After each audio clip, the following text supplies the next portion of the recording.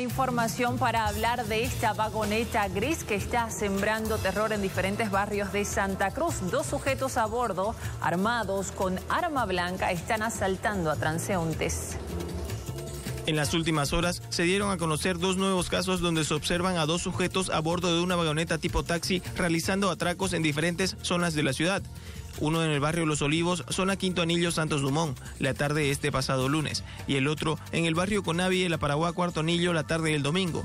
Ambos realizados de la misma manera, donde un hombre conduce y el otro desciende con arma blanca, arremete a sus víctimas, que normalmente son mujeres, y se dan a la fuga con rumbo desconocido. Ve la movilidad que se acerca y ahí donde ellos y baja un sujeto, eran dos ellos en la movilidad y se acerca a ellos, ¿no? A quitarle el teléfono.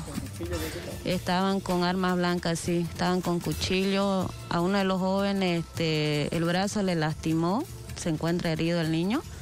Mi hijo quedó ahí, ¿no? En pánico, ahí parado, pero le dijeron que, que corra, ¿no? Después de haberle quitado el teléfono.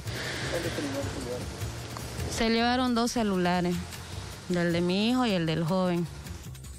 Sería una vagoneta tipo taxi color gris. No se logra identificar el número de placa. Las víctimas hicieron la denuncia pública aunque se desconoce que se hayan presentado a la policía. Se espera una respuesta de la Fuerza Especial de Lucha contra el Crimen sobre el caso, para dar con el paradero de estos sujetos que causan zozobra en la población.